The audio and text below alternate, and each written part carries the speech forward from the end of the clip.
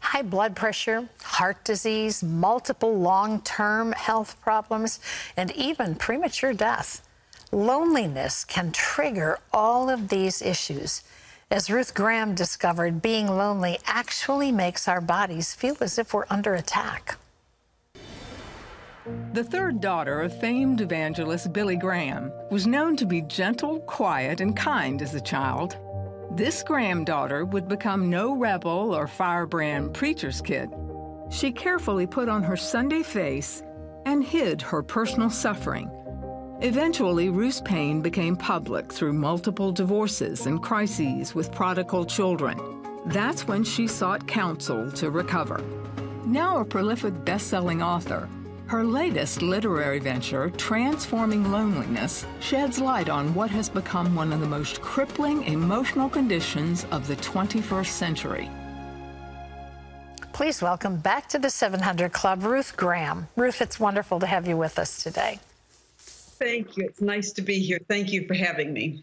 Ruth, it was a bout of loneliness after surgery that prompted you to write this book. Tell us what happened.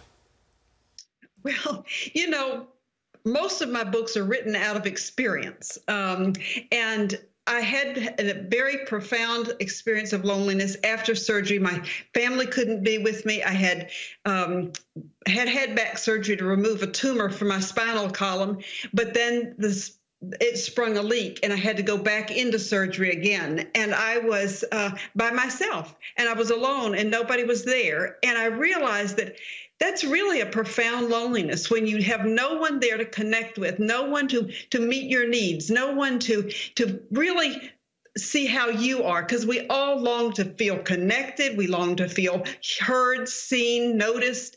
And i was just all by myself. I couldn't even reach the glass of water uh, without help. So i was alone. I obviously the lord was with me and i knew that. But i wanted to connect with somebody and there was nobody there for me we're made to be relational with each other. You actually felt abandoned as a child. How did that make an impact on you as an adult? Well, I, I, wrote extensively about that in my book, Forgiving My Father, Forgiving Myself, an invitation to the miracle of forgiveness. And I realized after many failed marriages that I had an issue of abandonment. For years, I had sought, sought security. I thought that Jesus was secure, my security, but deep down where the secrets were kept, that wasn't true. I kept finding, wanting to find security in a relationship. And uh, after the fourth divorce, I had to say, what is wrong with me? I even wondered whether, whether I was saved. But um, a friend looked at me and said, Ruth, as a little girl, you felt abandoned by your father. I did not want that to be true because I absolutely adore my father, adored him, still do. And um, he would never have hurt me in a million years. But uh, but it was true. I felt abandoned, and that's when I looked. I realized what my core issue was, and I think we all have a core issue. When when we do repeated things, uh, we have a core issue. But um, I, when I recognized it, the Lord lifted the burden, and um, and I really felt like um, God spared me the condemnation that I had been putting on myself for years, the guilt and the shame. But I realized that I was standing in Romans 1, 8 1. There is now, therefore, no condemnation to those who are in Christ Jesus. If I felt condemned, I couldn't talk about the fact that I have four failed marriages. Yeah. Talk a little bit about the distinction you make between loneliness and solitude. What's the difference? Well, loneliness is a feeling we all have, and um, it's by and large temporary. Uh, it can become chronic, and as you mentioned, there are real physical uh, issues that can be dragged in with that. But loneliness is really sort of a temporary kind of thing. Solitude is something we choose to uh, to use for a time to recalibrate, to spend time alone with God.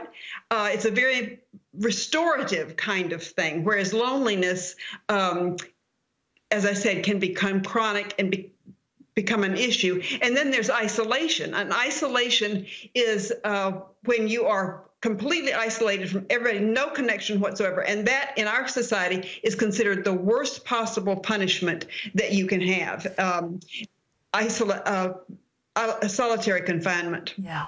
Talk a little bit about some of the things that you discovered that loneliness and certainly isolation would cause physically in our bodies. Well, we don't eat properly when we're lonely. We don't, so that causes poor nutrition, which causes lots of things. Um, we find that we are bored. We're not stimulating our minds. Uh, we get sort of apathetic.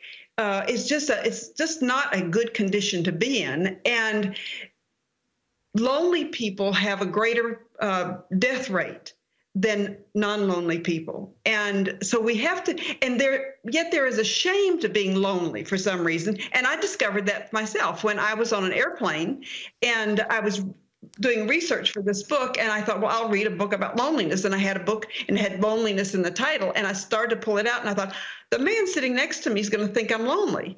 And i don't want him to yeah. so i put it back But there is sort of a sense of shame to being lonely. But I don't think we need to feel shame. I think we need to realize that so many people are just like us. Just look around in the grocery store, look around at your church, the people who are sitting alone.